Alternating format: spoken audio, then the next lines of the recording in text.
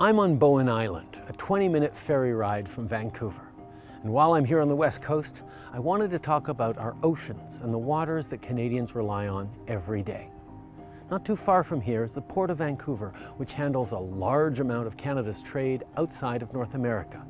Travel a few minutes from there and you'll find the iconic Vancouver Seawall, the largest uninterrupted waterfront path in the world. That's not the only record we hold.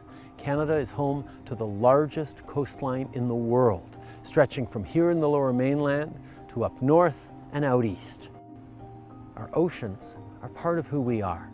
So when we created the Oceans Protection Plan in 2016, we did it to protect these waters and millions of Canadians and Indigenous communities who are connected to them. But what is the Oceans Protection Plan doing to make that happen? To start, we're protecting habitats for precious but vulnerable species like killer whales right off this coast.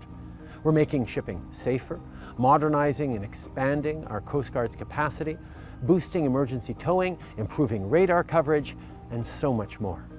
To prevent marine incidents, we're increasing inspections and surveillance, expanding our capacity for search and rescue, and preparing faster response times for oil spills along our coasts. And we've been working in partnership with Indigenous people on marine safety and environmental protection.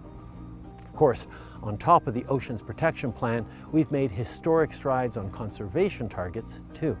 Since 2015, we've gone from protecting less than 1% to over 14% of Canada's marine and coastal areas.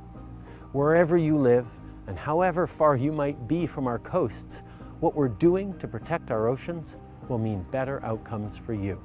They'll mean a stronger economy and good jobs, safer and more resilient communities, and a better future for generations to come. That's what this is all about, and that's what we're ready to keep fighting for.